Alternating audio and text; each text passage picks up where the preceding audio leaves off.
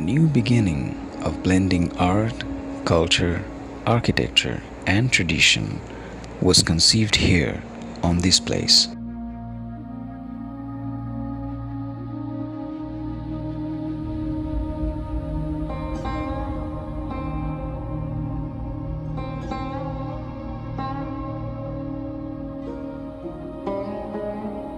This is the Institute of Fine Arts, Dhaka University, commonly known as Charukala, designed by architect Mazharul Islam, the pioneer of modern architecture in Bangladesh and the father of Bengali modernism. This masterpiece was his first architectural endeavor and one of the two major buildings Islam designed in 1952 when he returned home from University of Oregon.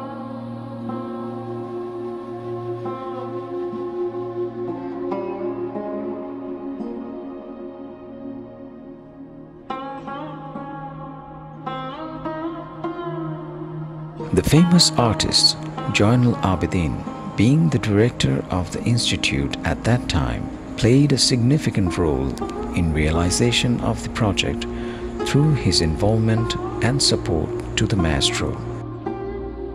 Marveling millions around the world, the devotion and craftsmanship of these two legends stands as an architectural jewel on the northern boundary of the Dhaka University campus.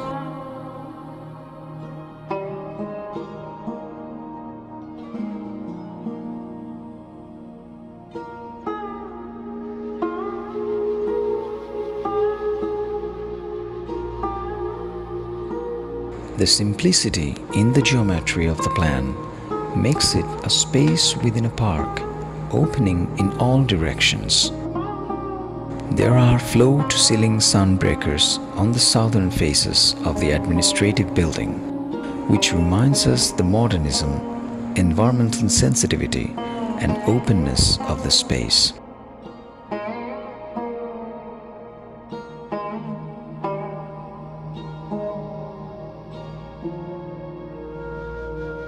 A relationship between urban life and building has been created with this unique setting.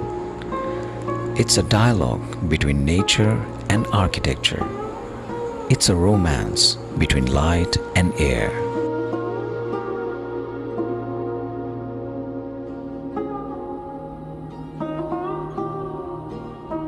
The entrance is through the open ground floor with lean circular columns and custom perforated walls in two directions.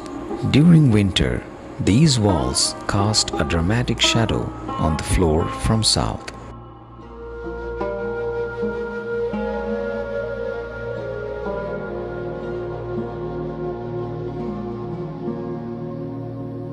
This entrance space on columns gives the vibe of the open pavilions of Mughal architecture.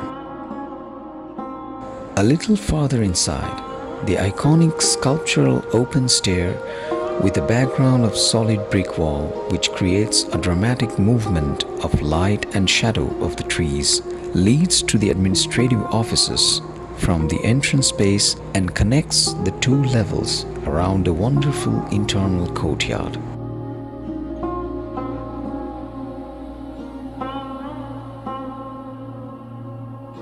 At every step on this stairwell, with varying perspectives, one can sense the transcendence through time and nature with joys and happiness.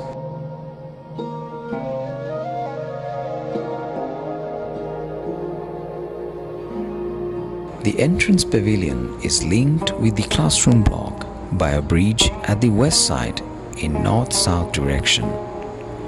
Here, the blend of natural and man-made spaces is spontaneous and visually effortless.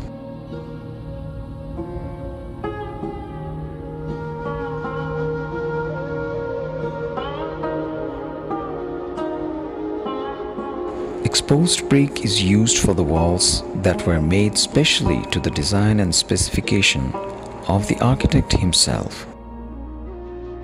As Mr. Islam said, কাজ আরম্ভ হওয়ার সময় দুটো জিনিস খুব আমার কাছে important হয়েছিল সেটা হলো মেটেরিয়াল যেটা ব্যবহার করছি ইট ইট কিন্তু ঢাকাতে অনেক পুরনো এই ব্যাপার এটা ব্যবহার হচ্ছে এবং খুব ভালোই তৈরি হতো কিন্তু তা সত্ত্বেও যে ইট কয়লা দিয়ে কাঠ দিয়ে পুড়িয়ে এই ইটগুলো ফাঙ্গাস গ্রোথ হতো। তো এই সময় মেকানিক্যালি তৈরি করা কিছু ইউনিটের এ আরম্ভ হলো, যেটা গ্যাস দিয়ে করে পুড়িয়ে করতো, যাতে পাঁচ পার্সেন্টের বেশি পানি অ্যাবজর্ব করতো না।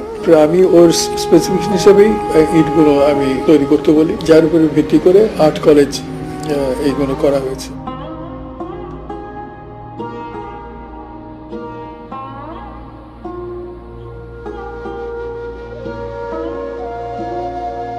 The climate sensitive design is not only functional but also has its own pictorial language. The smaller horizontal wooden louvers act as drop walls along the corridors of the academic building to block the sun and the circular perforated concrete block is used as a railing. This perforated concrete screen is a traditional climate responsive element of this warm, humid environment which is usually used in the southern part of the building.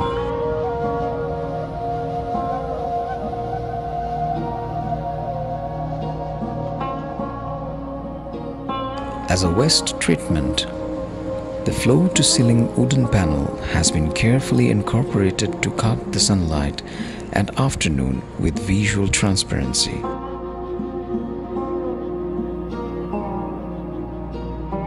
The semicircular wing surrounding a circular pond at the edge of the academy block is quite unique and highly respected by context that had originated from environmental analysis.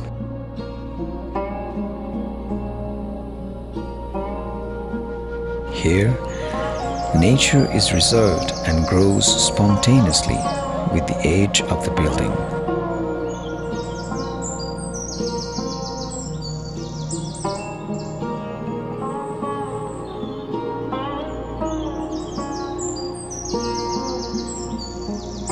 In the open space to the north, there is a bokul tree that is strongly associated with the culture of this place. Students gather here on various occasions, especially on the first of Boishak, the beginning of the Bengali New Year, when the place is made open to the public, became one of the hottest spots of the capital for annual gathering.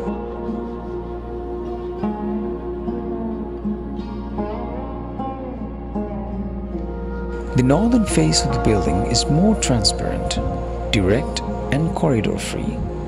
To enjoy the northern diffused light from inside and the great view of outside when the sunlight casts a shadow over the north.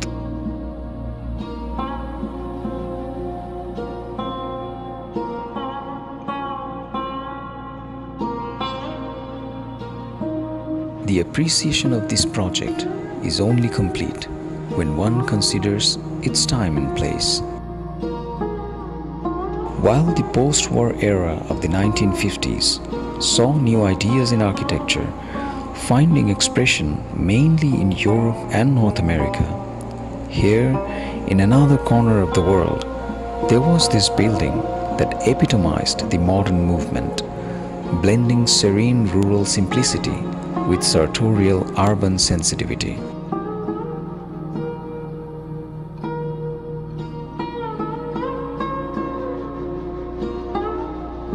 Such timeless design by Mr. Islam turned this institution into a place of cultural movement, a place for expression of freedom, a source of inspiration for creative minds.